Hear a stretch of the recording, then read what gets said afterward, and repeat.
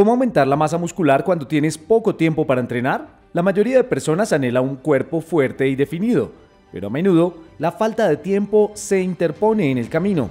En un mundo lleno de responsabilidades laborales y familiares, encontrar tiempo para entrenar puede ser un desafío. Los expertos e instructores físicos han buscado soluciones a este problema. Un estudio publicado en la revista Sports Medicine dice que el entrenamiento de fuerza es la clave cuando el tiempo es limitado. Según los autores, para optimizar el tiempo debe priorizar los ejercicios bilaterales y multiarticulares. Esto incluye movimientos dinámicos que trabajen tanto la fase excéntrica como concéntrica de los músculos. Una ventaja de este enfoque es su versatilidad.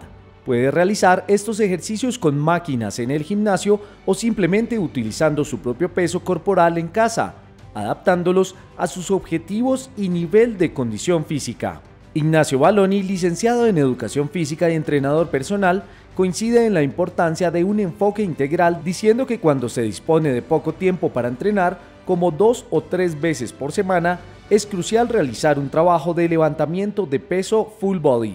La hipertrofia, el crecimiento muscular, es fundamental para una buena salud, especialmente después de los 40 años. Según el médico deportólogo Pablo Pellegri, este crecimiento se logra con estímulos precisos y no necesariamente cargando pesas pesadas.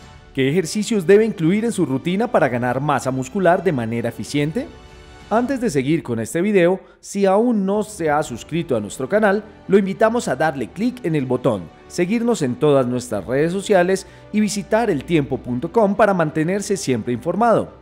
Los movimientos multiarticulares como las sentadillas, el press militar, el remo inclinado permiten levantar más peso. También existen ejercicios uniarticulares diseñados para trabajar músculos específicos. ¿Con qué frecuencia y cuánto debe entrenar para ver resultados? Los expertos sugieren que incluso en caso de poco tiempo, debe priorizar la calidad de los ejercicios sobre la cantidad de peso levantado. Se recomienda entrenar al menos tres veces por semana durante 45 minutos a una hora. Antes de comenzar cualquier programa de entrenamiento, es fundamental consultar con un profesional de la salud para evaluar su estado físico y prevenir riesgos. Incluso si se siente saludable, someterse a chequeos preventivos como un examen de fuerza y resistencia le ayudará a conocerse mejor y establecer metas realistas. Por último, no subestime la importancia de la alimentación y el descanso en su viaje hacia una mayor masa muscular. Un buen sueño de al menos 7 horas para adultos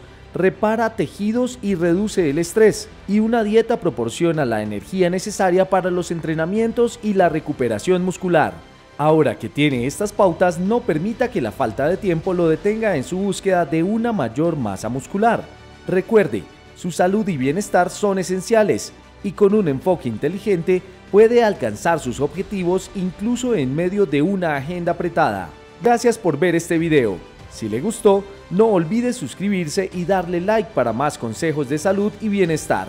Hasta un próximo video.